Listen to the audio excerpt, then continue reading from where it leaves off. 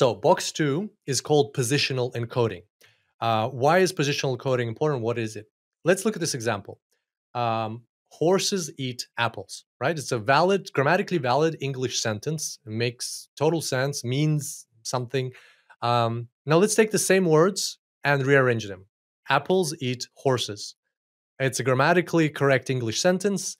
It um, every it follows all the rules. It has exactly the same words, but it means something completely different, right? And in fact, it's nonsensical. Apples don't eat horses. So that just illustrates that you, word you order. Just, you just haven't done enough LSD. Uh,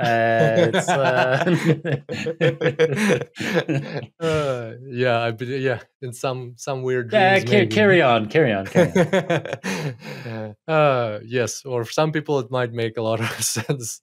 Anyways, but the point is that um, word order in a language is important and it can significantly affect meaning.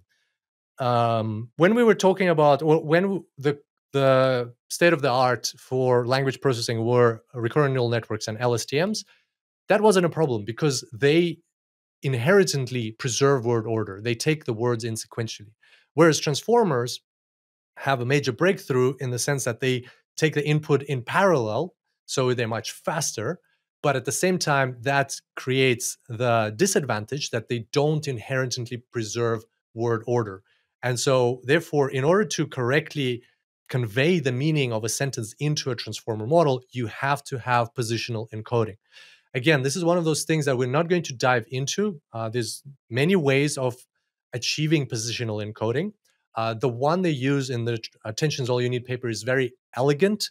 Uh, it uses cosine and sine functions.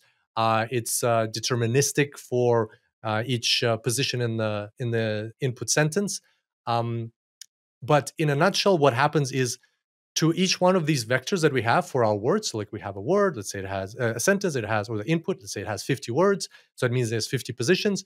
To each one of the vectors that we've created, the embedding vectors, we add a, a small number which represents the position of um, that word in the sentence, right? Like not so not, it's not, not not a small number, like a small vector. We add to each one of those vectors, we add another small vector which uh, represents the position of that word in the sentence. And that is a mechanic. So we're just creating the environment for the transformer during training to leverage this, right? So we're our our job is to encode the positions into these vectors. The transformer will learn how to use that mechanism that we are um, giving giving to it through this uh, approach.